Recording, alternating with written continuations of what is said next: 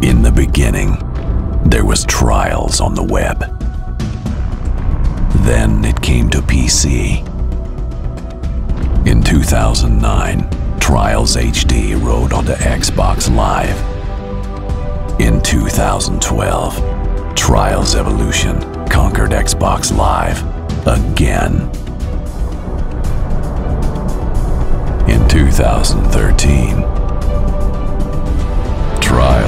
will return to the PC. Trials is coming home. This special gold edition has been optimized for the PC. It will deliver the complete Trials Evolution experience. But there's more.